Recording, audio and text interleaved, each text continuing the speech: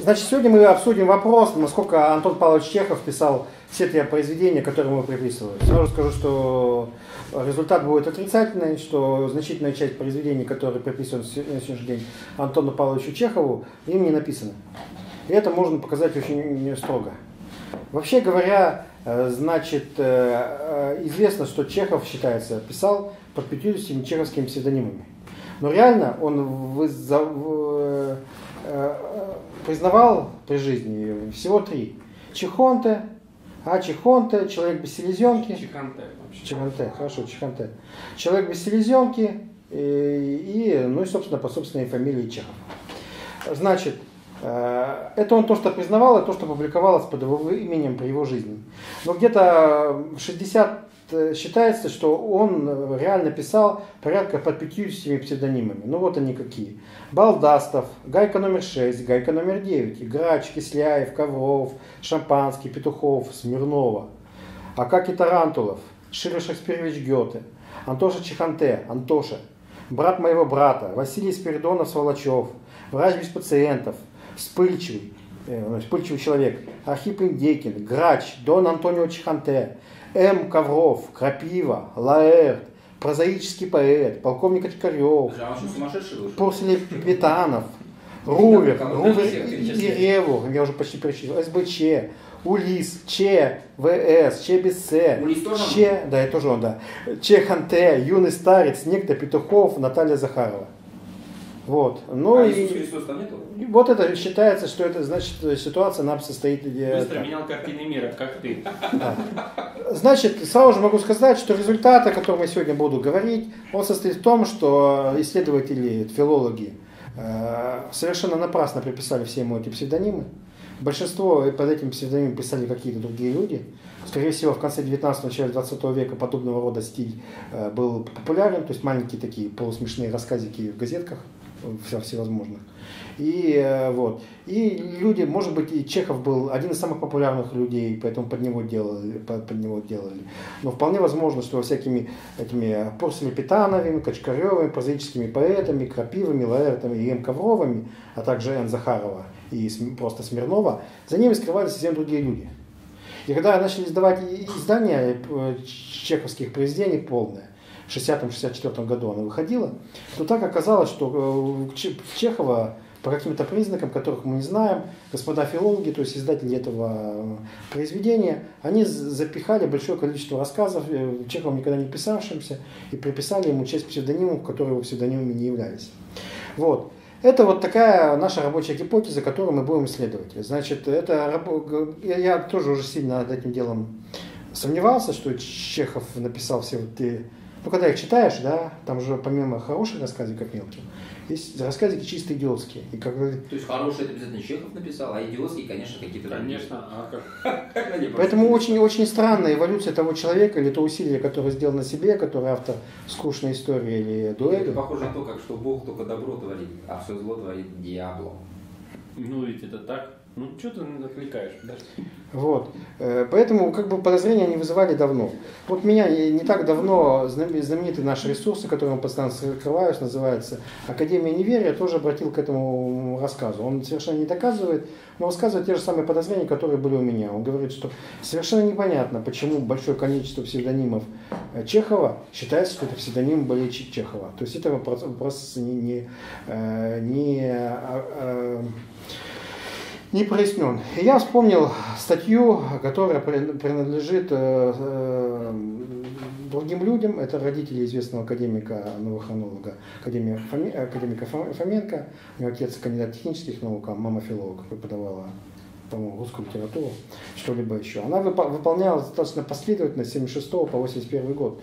И они там занимались исследованием того, принадлежал ли Тихий Дон э, Перу Шолохову. Вот принадлежал он или не принадлежал.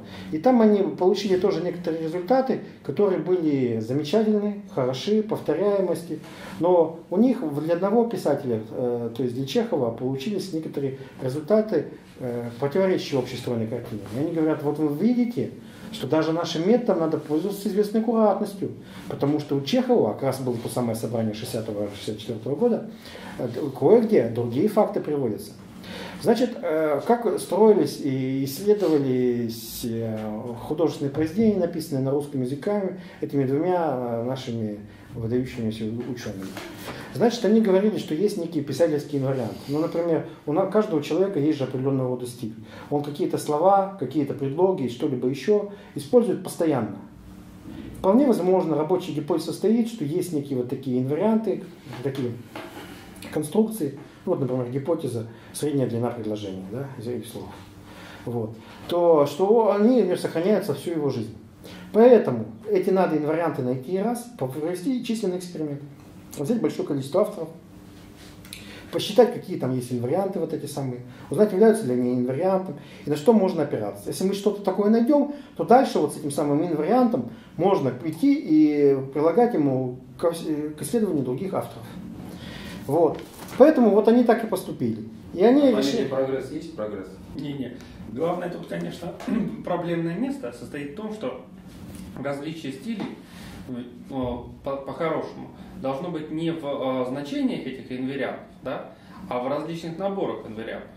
Вот, то есть что для одного стиля, для одного писателя является инвариантом, то для другого не является. Вот э, тогда бы как бы стили были уникальны. Не просто там длина предложения, у одного одна, у другого другая. А вот у этого как бы длина предложения является инвариантом, и он сохраняет ее, и поэтому как бы у него стиль становится таким, какой есть. А для другого она несущественна, но зато у него инвариантом является что-то другое. Ну вот это на самом деле не так. Можно будет показать, что на большом примере, что... Я на нескольких писателях? На 27. 27. Да. 27, что инвариантом у них является одна совершенно вещь, и это не, не количество слов предложений. Количество слов предложений не является инвариантом.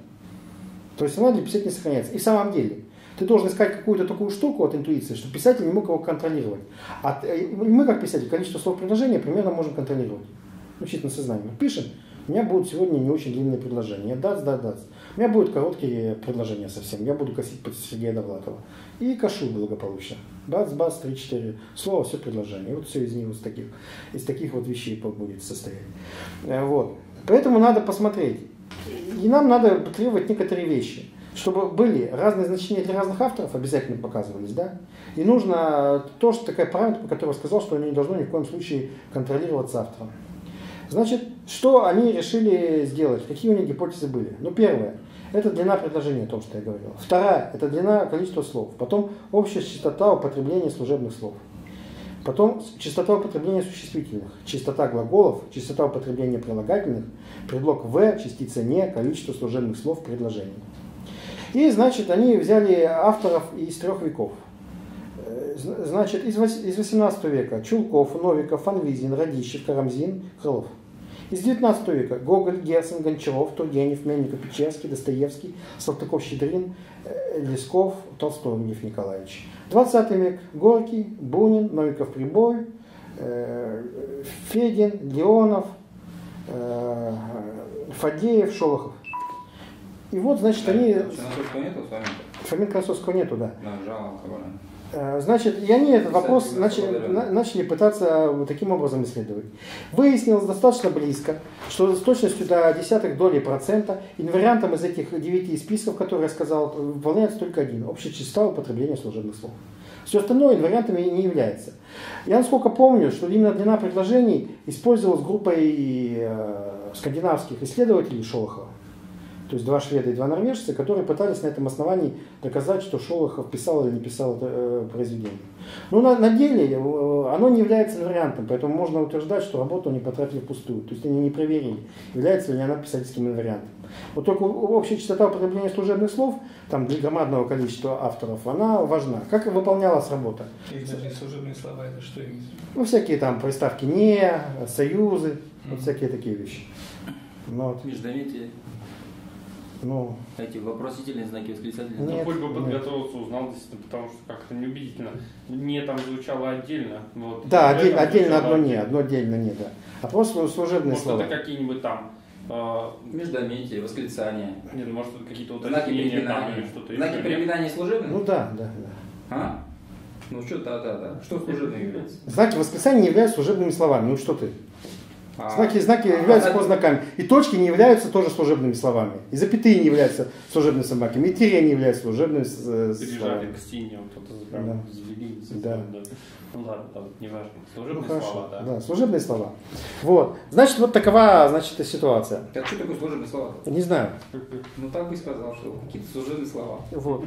Союзы, да? Да, союзы туда входят, да, конечно. Предлоги. Да. Это те, которые Ой. на службе. Я, по-моему, сказал про предлоги. да? Служебные слова. Да. Так точно.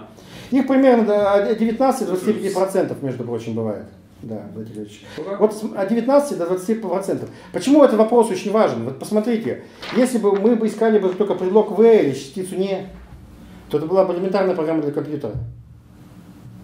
А когда мы работаем с служебными словами, когда непонятно, что это такое, по большому счету, нельзя написать программу. было Почему? непонятно. Слово, у которого одна или две буквы. Нет, а, Слово с одной-двумя Госпо- буквами, это г- служебное, гос- по госпо- определению. Да, госпожа Фоменко, она умела вычленять из большого количества текстов, Как филолог. да, как филолог, он умел вычленять служебные слова. Для того, чтобы какой-то титанический, почему работа шла порядка пяти лет, Вот какой ти- титанический труд был проделан. Как они сначала работали? Они сначала выбирали тысячу слов, потом 10 страниц попускали, потом тысячу слов. Вот таким образом произведение обрабатывалось. Вручную. Ну, под- я думаю, что да. Потом, значит, 2000 слов сделали. Потом начали, дошли до 8, потом до 16. Потом убедились дальше, что дальше частотность уже не меняется. Поэтому они всякий раз брали по 16 тысяч слов, потом 10 страниц пропускали, и таким образом обрабатывался громадный том, типа «Войны и мира». И а предположение, что филологи просто плохо считают, и поэтому у них ничего не менялось. Такое Ну, не брался в расчет? Ну, там был соавтор, который читал хорошо, потому что он был кандидатом технических наук. А он не знал, что такое служебные слова. Да. Другая беда была. Но тем не менее, то, что они Он получили... считал рукой. Да, и то, что, то, что они получили одинаковые результаты, это удивительно. А и филологи современные как бы совершенно, опять же, забыли вот это все, невостребованный метод, э, не используют его потому, что они Не знаю. темны. Потому, может, потому что темны. Но статья, например, о подлинности произведений Шолохова, там вот эта критика, вот эта работа, она там приводится. Ссылка на нее есть. Вот ее можно пойти посмотреть. Именно вода в глазах. Значит, после этого они решили и начали работать, э, значит, э, с, э, еще с пятью писателями, чтобы подтвердить собственную гипотезу. Значит, они подтвердили, попытались на Островском, на Алексее Константиновиче Толстом, на Жуковском, на Пушкине и на Чехове. Только для Чехова у них появились больш- большое количество отличий. Как они возникли? Вот посмотрите, собрание сочинений, вот она обработана таким образом. То есть опять выполнен титанический труд. Вы представляете, считали, считали. Кстати, а, считали. а если вдруг писатель оказывается, не знаю, шизофреником с расстроением личности, Да, да, сегодня да, пишет да. один, завтра другой, Ну, то тогда... Такого не бывает. Ну, из этих авторов, то есть из 27, Я таких не не нашлось. А если Чехов? А Чехов, может, был рас- У него это. И он Потом он забывал, кстати, о, поэтому он и, и псевдонимы давал. Раз. да, и не да, все да. признавал. Было но И не не все было. признавал. Потом он, значит, э, просто он пос- после этого он и изменился. Почему они говорят, что Чеху надо подходить осторожно? Потому что они говорят, что где у него вначале была форма маленького рассказа коротенького, это была одна, а потом форма стала более большого произведения, то есть уже по повести, и это стало другое, и пьесы. Но тем не менее, посмотрите на результаты, которые они получили. То есть ничего я сам не считал, а вот это результаты они получились. Вот последние тома издания. 25,4% служебных слов. 25,5% служебных слов и 25,4%. То есть расхождение по томам очень маленькое. Теперь мы смотрим на эту самую ситуацию, которая была раньше. Значит, первый том 22,6, второй том 22,5, третий том 23,4, четвертый том 22,7, 23 и пятый том Давайте, давайте в 23,4. хронологическом порядке, да, появление Ну, типа да, считалось, что они хронологическом более-менее. Вот. То есть эта ситуация о чем свидетельствует? Это свидетельствует, что для большого корпуса всех русских писателей инвариант выполнялся с высокой степенью точностью. Исключением был только Шолохов. И вот второе исключение Чехов. Сами авторы, то есть э, супруги Фоменко, они полагали на тот момент, что это просто вот такая аномалия личного, лично Чехова. Но я этот результат запомнил, поскольку никогда, конечно, считать я это не буду, никаких программ на компьютере я никогда для этого дела не напишу, я просто пытаюсь воспользоваться их, их результатами. И помня о том, что у Чехова было большое количество псевдонимов, и за этим большим количеством псевдонимов скрывались какие-то а, скрывались, возможно, разные писатели, э, филологами и издателями уже в 60-х годах ответнет почему-то к Чехову, я сразу же обратил на это внимание. И мы видим, что здесь расхождение есть. И скорее всего, это свидетельствует о том, что в ранние рассказы, взятые под псевдонимами, было подмешано достаточно много рассказов другого, от других авторов. Что Чехов всегда работал на этой вещи, на 25,4, как любой крупный писатель. А туда подмешались какие-то псевдонимы по непонятным причинам. Ну, кстати, странно, почему, Чем там- более- чем больше почему, почему лучше. и там есть совпадение. Тогда бы было как бы колебание более какое-то существенное, а там 22,6, 22,7, 22,5. И с другой стороны 23,4, 23,4. Да, это, это, это, это объясняет все очень просто, что там, э, во-первых, подобраны одни и те же авторы, по всей видимости, и во-вторых, Так, а они... проверить это? Про- можно- докладом. А вот надо будет вот это проверить. Да, надо, потому что не по томам, а по рассказам. Надо как-то Нет, группировать рассказы значит, по всем Да, минимум. если бы мы Другую задачу надо д- решить. дальше вот эту задачку по мной бу- будем ее исследовать, то как надо сделать? Мы пишем к вам программу, не знаю, как это сделать, возможно, можно как-нибудь. Служебные слова, чтобы она выбирала, ну, скажем, на си. Она выбирает эти программы, и мы туда загоняем по повести, по рассказику что-то еще, и пытаемся понять, что у нас есть.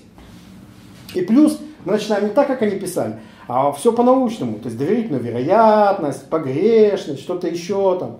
Э, Мы должны все Откуда она возьмется? Какая погрешность? Да Какая нет, ну можно же взять по Потому что-. Потому что если ты такую, такую, такую рассказы делаешь, начинаешь выстраивать это дело вдоль некоторой кривой, да, вот, у тебя количество рассказов здесь, первый, второй, третий, то если у нас есть читательские варианты, то у тебя будет прямая. Если у тебя здесь э, есть твои численные эксперименты, у тебя все вот эти штуки будут расставлены вокруг этой самой кривой. Ну понятно. И ты считаешь среднеквадратичное отклонение. И ты его всюду должен выписывать. Вот что это значит. Ты погрешность должен делать. Этого просто это в работе этого не сделано. Может, и результаты где-то делались, но их как таковых нету. И вот мы по рассказам. Нет, подожди, если они берут том и просто считают во всем томе, Да. вот, э, средний э, проц- процент вот этих вот Служебных слов. слов, у них получается одно число, которое здесь, здесь приведено. Да. Поэтому какая средняя квадратичная В томах, в томах, в томах. А надо бы сделать по уму, как я рассказываю. Как и надо Ну ты сделать. можешь сейчас взять эти цифры и по вот этим томам, да, допустим, Да. вот построить и Да. доверительную Просто, просто для всех будет- остальных она будет практически одна и та же. Это будет прямая, вот они будут на одной прямой сосредоточены, как мы здесь это видим. А здесь получилось, что мы здесь построили, вот у тебя точки, они вот здесь на прямой ложатся, три, а все остальные, они ложатся вот здесь снизу, вот как бы получилось. Ну это тоже можно посчитать, но когда у тебя пять точек, это как бы неинтересно, три здесь. Они у тебя здесь вот как-то образом лежат. Вот это очень вопрос, он такой интересный, надо с ним здесь попытаться А, работать. а вот, кстати, есть мнение, что в ранних рассказах писатели, которые плагиатом занимаются, воровали у него служебные слова, поэтому их не хватает. Это может быть, может быть, может быть. Вполне возможно, что они воровали у него служебные слова и складывали их для того, чтобы подарить кому-то. Шолохова. Да, Шолохову. Я покажу, что это именно был Шолохов, потому что в Тихом доме у него служебных слов было очень мало, а потом стало гораздо больше. Это явно были служебные слова, у еще Чехова. есть понятие, Я же- согласен. понятие оттачивания стиля, когда человек пишет как бы рассказ какой-нибудь, а потом сокращает все, что не нужно. Понятно, только все остальные Так вот 20, дальше он 26 наоборот 6 писателей, они как бы... А потом, когда стиль устаканился, вот у него как бы вышло на Перестал сокращать. Да, ну тут тогда у- здесь Чехов уникальный такой парень. Чехов и Шолохов, два уникальных парня, у которых Это было гений. все иначе. Нет, может быть он Ну, просто... гении всегда же, они же не прямолинейные. Есть прямолинейные. он Пу- так- Пушкин прямолинейно, а они нет. Да, Пушкин прямолинейный. Нет, тут есть несколько еще объяснений. Может быть, он э, как бы слетал в будущее, узнал, что будет такой метод, его будут анализировать, вернулся и сразу решил подложить как бы мину такую. Нет, он не летал в будущем, просто получил телеграмму от Телеграмму. господ Фоменко. Да, он си- Я сидел, просто вот удивлялся. сидел. удивляюсь. Просто дело в том, что служебные слова очень тяжело контролировать. Я думал, а, а с чего вдруг как бы академик вот этот Фоменко, да, Да. математик, вот, э, выдающийся, как бы признанный, вот, занялся вот всей этой лабудой с историей там Да. и так далее. Оказывается, я родители понимаю, он мстит за родителей. Да. За непризнанных родителей. Ну нельзя мстит. сказать, что они особо не признаны как-то. Ну вот, да, он мстится здесь, он мстит всему миру, и вот этой вещью, вещью, вещью занимаемся. Да нет, здесь вполне как бы объективный метод на самом деле. Просто надо додумать все основания, попытаться какие-то другие книжки, допустим, других авторов, совершенно рядовых, а не каких-нибудь... э, У них является ли частотность постоянная или нет? Просто, То есть да. На многих примерах. Нет, там частотность является постоянно, там реально не очень много делали, там по Горькому такое количество произведений А там, обработано, что смотреть как- страшно. насколько там а, расхождение? Да причем есть Горький. Взять обычных каких-нибудь рядовых это, писателей, которые там технические книги пишут и прочее. У них проверить. То есть, насколько этот метод в принципе работает. Конечно, если брать Может быть, у писателей все как-то выглаживается, у них какой-то стиль образуется, и, в принципе, там со временем они частоты с- Ну, видишь, э, Так может быть, есть понятие становления писателя. да нет, это понятно, но сейчас мы представим, возьмем современную диссертацию чувака какой-нибудь посредственного. Ну, Да. не одну диссертацию, так достаточно было. И обнаружим. Да, я обнаружил, да. Не, не, я а, обнаружил. это все понятно. Я имею в виду, а Ну. если взять достаточно, ну, тот человек, который, ну, хотя Так, бы достаточное количество так, ведь, и, видимо, и Например, определяют заимствование. Ленина. Не Вот знаю, она, не, не, не, она там не ведь так. сейчас же там, Там- опро- опровергают. Там два, компьютерная программа просто два текста сравнивает и все. Да? Да. И там находят удивительные вещи, например, за- защита по, по этой, Медицина. по, по по медицине, где она полностью соответствует одному и тому же, только в Word выполнена замена слова кровь на лимфа, а все остальные таблички, все остальное сохранено. И такие вот перлы выдаются диссертации, они защищаются. Я сам видел, у меня у мамы, не помню фамилию человека, одно время у них институт, сейчас же новая система, университет, потом институт, а на нем, э, грубо говоря, факультеты, то есть прослойку сделали. Вот этим институтом в Арктическом университете заведовал э, человек, бывший пожарник, генерал МЧС. Мгм. И он его попал под... Который В Оренбауме? Нет, не, нет. Э, может быть, как бы не будут клоняться, там, я понимаю, там, реминисценции, прошлое, там, Ну ладно. тяжелые. Ну ты же рассказывал про. Да, про, про, про свои, про свои тяжелые... Это относилось к делу, а это к делу не относится. Нет, значит, э, дело к тому относилось, потому что был знал, как диссертации делаются. И вот у него э, диссернет обработал его диссертацию. Выяснилось, что она у кого-то там заимствована почти полностью. Вот и все. Просто что хочу сказать. Ну, Игорь было приятно, да, он-то не заимствовал. Да, я не заимствовал, да. Вот, значит, вот такова... но, такова... но это невозможно доказать, что ты не заимствовал. Частоты. Потому что не с кем сравнить. Не, частоты, чис- частоты сразу. Не, на самом Нет, деле ты я если- заимствовал. если Ты заимствовал, не, то не- не кем поверишь, что в одной из моих публикаций э, в этом журнале э, как, а, какой- Ералаш? о физике твердого тела все формулы практически заимствованы из твоей дипломной работы. Ну уж, И конечно. все результаты, абсолютно.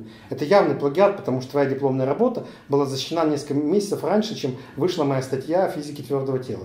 Блин, и вот Как- надо и- было прожить Поэтому времени, ты можешь, это. ты можешь на меня И подавать эту вещь как, как э, на плагиатора. Да нет, это просто как бы он всю жизнь думал, что ты умнее, понимаешь, и мучился. Вот, а теперь выяснилось так, Мгм. да, было? Ничего я не думал. Я об этом не знал. Так, значит, давайте возвращаемся. Э, Ну, здесь Ну, очень, очень, очень интересно взглянуть, вот после того, как мы э, задумались о Чехове и видели, что, в общем-то, э, как и что принадлежит Чехову, вопрос совершенно непонятный, дискуссионный, но и видим, что методы простого работы с служебными словами, то они, значит, оказываются оказываются совершенным, совершенно образом э, Кстати, знаешь, что еще здесь надо делать? Надо еще хронологию смотреть. Может быть, последние три тома написаны, не знаю, за один год, да? А, да, да, это важное замечание. Еще что про Чехова очень интересно. Значит, Чехов, как ни странно, прожил всего 44 года, является один из самых половитых писателей, если официально. Он писал 14 печатных листов в, в этот, В день? в день, год. Год. Лев Толстой, который был известным строчилой, писал 13 печатных листов, тоже очень много. Золя, у которого была большая фабрика, писал 21 лист.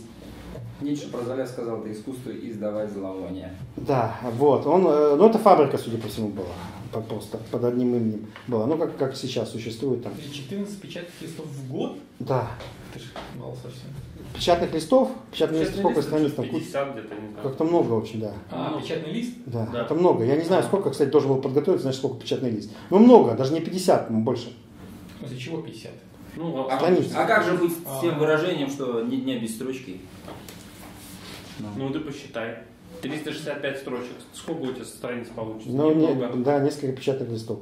Значит, Шолохов всю свою жизнь писал один э, печатный лист приблизительно в год. Всю свою жизнь.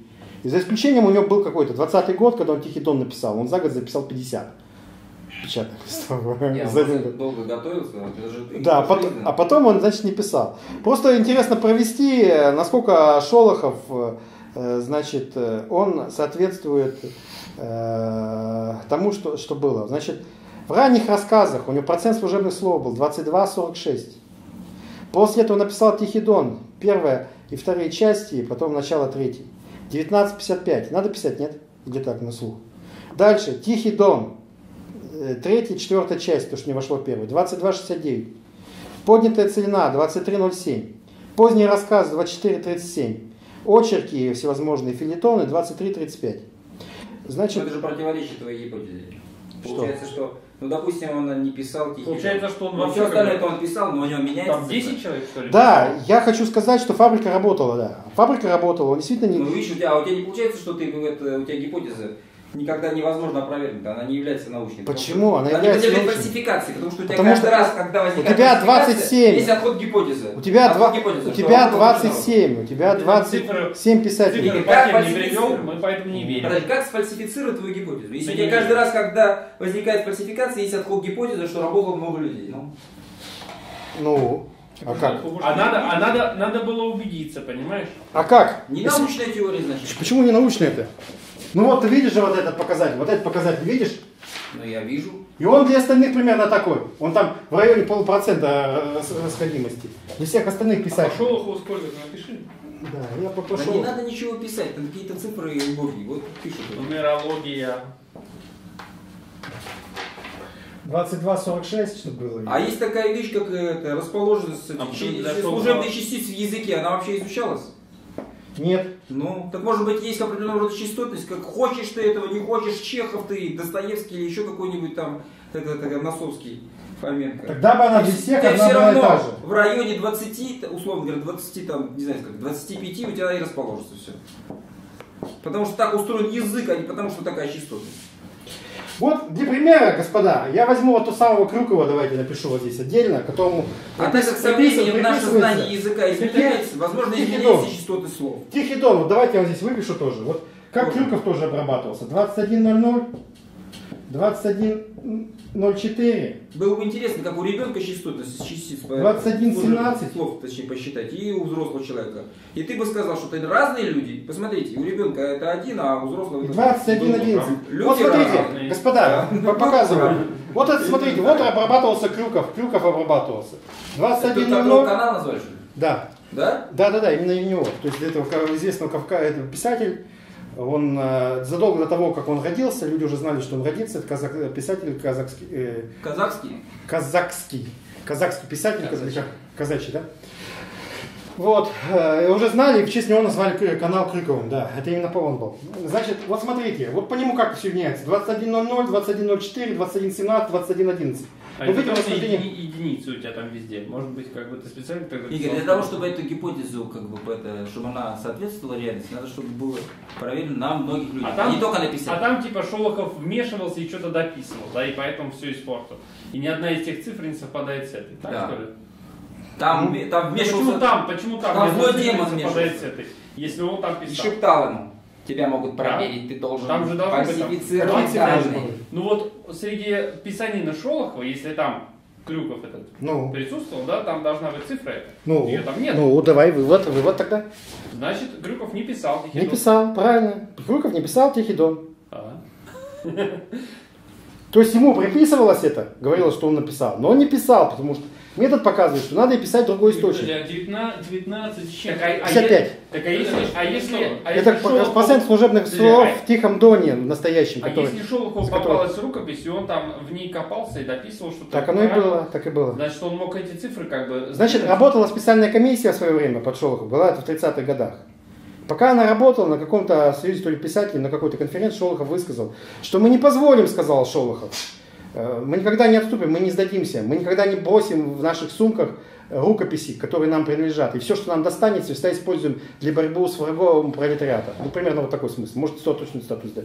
То есть, он уже на тот момент боялся, что эта комиссия, которая и обследовала творчество, сделает вывод о том, что он не является автором начала Тихого Дона. Игорь, Игорь, а мне вот всегда проблема поражала. Какая разница, является Шолохов автором Тихого Дона или нет? Ну вот так интересно. Ну никто не будет Ну, Тихий Дон нумер- читать. нумерология больше ничего не Скоро может, пройдет понимаешь? время будет только, только имя Шолохов. Ну, какой-то, какой-то там Тихий Дон, который не о Нет, для меня эта задачка, чем Зачем она... это нужно? Для меня эта задачка, она, знаешь, чем интересна? Тем, что удается опять решить красивую задачку по, по прикладной, по прикладной математике. Читал, А? фильм досмотрел.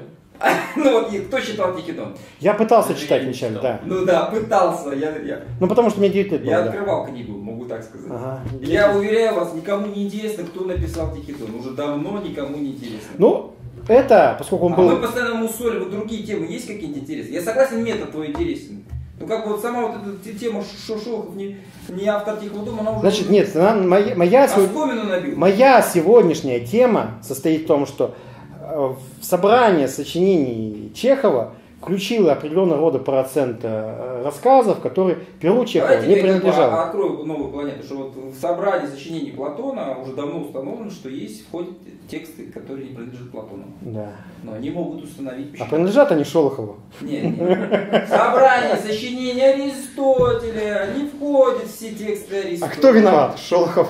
Нет, собрание сочинений любого, наверное, более-менее выдающегося Потому что благодать Писатель. Бог дописывал, Бог. писателя, философа и так далее. Подожди, Булат, вот это же и есть, это же и есть подтверждение. Они не могли сами написать, Бог дописывал. И там, где он дописывал, процентики-то упал. Не, просто я к тому говорю, что нет, А не Бог как раз, в отличие от человека, мог контролировать Может. процент служебных слов. Да. Поэтому он любил Пушкина, и Пушкина получилось «м». Он любил Достоевского, и тоже «м» получилось. И так далее. Не, просто А Чехова он не Нет, любил. Просто, просто он там, видимо, как бы полностью писал за ним. Игорь, а тебе, а тебе не приходит в голову, что можно предположить, что именно Пушкин и Достоевский были ровны? Ну, ровно писали, у них был один и тот же стиль на протяжении всей жизни. У них не было слома и прочего. А у других людей, типа Чехова, у них, может быть, случился какой-то Ну, кризис. сами, сами Фоменко так и стиля. объясняют, что стиль маленького рассказа это одно, а бо- большая форма, а Это другое. наоборот говорит о том, что Чехов все-таки более сложный человек, чем какой-нибудь там это, Как э, Пушкин. Пушкин. Чем какой-нибудь Пушкин, да. Да, ну а что, разве не так? Ну Пушкин да. же де- детский, на самом деле, у него все истории рассказывают. Ну, это мое Да. мнение, опять Да. же. На Это самом деле, понятно, что он не детский, так. детский писатель, что? Да, потому что это, что э, Маша и Дубровский сношались посредством дупла, да. Ну, мы все знаем, да. Это явно детская тема какая-то. Да, значит, вот такая вещь. Э, Ну вот, ну в общем, чтобы не Как там, не заканчивать. бойся Маша, я Дубровский, что ли, так? Ну как-то так. По-моему. Ну это просто супер такая вот, знаешь, великая э, литературная тема на все времена, как бы. Понимаешь, это просто, ну это вот согласись, что это просто даже не смешно уже, понимаешь, это даже не детский сад, это где-то там на уровне плинтуса. Я понимаю, что может быть великий там этот э, стилист и прочее, но вот тема у него бесконечно детские темы там. Достаточно по- почитать его вот это, э, это как это называется, капитанскую дочку, чтобы это понять. Но это же невозможно там, это невозможно ладно. читать. Бесконечно. Ну, Не, ну да кому как. Ну, ладно. некоторые занимались ас- аскезой и Просто жали у в парня, пустыне. А, представление Каренин- о том, что такой- я- я- а такой благородный человек, у него представление высосанное из, из этого, из космоса. Понимаешь, он думает, что вот есть какое-то представление, то какой должен быть благородный. И вот он там этого благородного человека описывает. Ну, несуществующего такого. И это называется, это и детский чем состоит, что нету там реальных персонажей, а есть просто выдуманные какие-то такие благообразные персонажи, там, которые там это, блещут каким-то особым благородством. Эту книжку читал, а не другую. Может быть, какой-нибудь там был. Не, ну я давно читал. Не, может, и не ты читал просто. Не, я, я давно читал, но тем не менее. Надо просто доказать. Но это просто, видишь, э, читал ли ты ее, не читал Может этого. читал тот, который как Мат- бы, математики а, есть на разные своей штуки. воле настаивал. Я, наверное, читал того, у которого частотность другая. Это правда. да, Ну, понятно. Нет, просто понимаешь, чтобы читать тоже нужна благодать и помощь Бога. Да. Не Я на самом и деле в детстве, когда спрашивали, любимый ваш писатель, это, э, поэт, я не знал, кого назвать, и говорил всегда Пушкин, думаю, проще. Ну это да, у нас в классе в Архангельске народ тоже делился на две категории. Первая категория была, значит, э, любила Пушкина, вторая Лермонтова. Потом народ стал, потом народ стал это, немножко дифференцировался, у кого-то Некрасов привернулся, Например, пот- Есенин же. и Есенин, да, и потом Есенин Это, появился. это как бы все туда свалились, вот 90%. Ну, и вот это как-то было. Потом я уехал, и там приехал в интернат, там уже никто никого не любил. За столько лет такого майня по городам чужой земли, от чего прийти к Есенину, мы к Есенину пришли. Да? Ну вот да. Ну вот такова, значит, ситуация. Ну, значит, понятно, да. э, В общем, я вслед за Академией неверия э, попытался э, высказать гипотезу, что у Чехова часть его рассказов ему совершенно зря его приписали, которая была под какими-то смешными псевдонимами издана. И чтобы ее повторить, я взял, не, не приготовил никаких собственных данных, взял э, старые данные, которые я видел у супруга Фоменко в их работе начала 80-х годов. Юрий, а вот это отличие, скажем, 22 и 19, это что, ну, считается действительно очень сильным отличием? Да, это очень сильное раз- различие, да. Ну вот я, тебе- я тебе привел, вот тебе Чехов, а вот тебе Крюков. Видишь, какое незначительное отличие? Да, Крюков тоже не менялся, был просто монолит всю жизнь. Ну, Он просто написал три рассказа, видимо. Ну да, да. Ну там несколько повестей. Обработал. сколько вот вводных, да, вот что надо проверить? Это, во-первых, гипотезу эту доказать еще надо. Она, ну я не знаю, конечно, мы много, может, не знаем, но она, по-моему, не доказана. И то, что Чехов отличается, можно действительно считать, что э, припи- э, приписали рассказы, которые ему не принадлежат, а можно считать, что просто вот Чехов такой человек, он и у него стиль менялся там. Ну, можно. Что он, что он феномен, что уникум, это понятно. Нет, Можно сказать, уникам, другие же, Что Шолохов еще когда с есть. Пизанской, с Пизанской башни Шолохов гоняешь, э, что там, камень, да? Он Шар. падает на землю всегда. Когда гоняешь его с Эйфелевой башни, тоже падает на землю.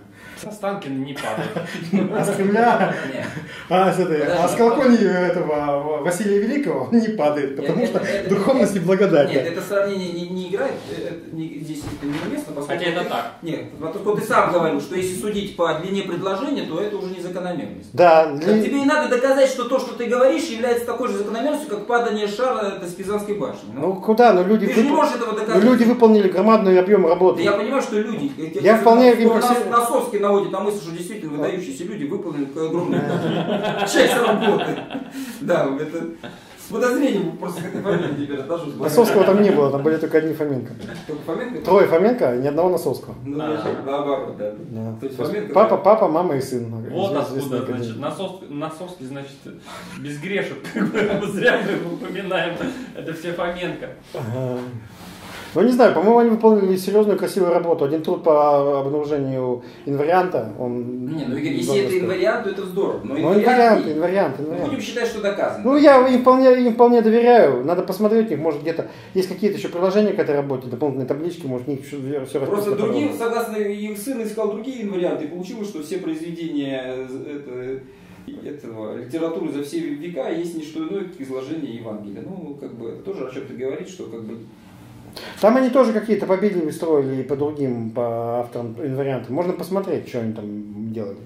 Уже, уже, частоты сборка хотели посчитать. ну, уже, Кстати, уже с кстати, Носовским. Это еще раз, это, нет, сбор. подожди, Это подожди, уже с- нет, с- подожди, если с- все с- произведения, да, если все произведения с- с- при, при обнаружении вариантов указывают нам на Библию, да, это значит, что действительно все писали под благодатью. Да. Так Бог есть, это как Вот. Библия написана по благодати, и все писали. Знаешь, просто это есть такая еще э, те- теория, что если тебе все цвета кажутся одним цветом, то возможно ты больной. Еще есть такая теория тоже. Сегодня все указывает на благодать. Да, ну да, да. И это по благодати. Да, и это по благодати. Ну вот такой вывод. Все, да?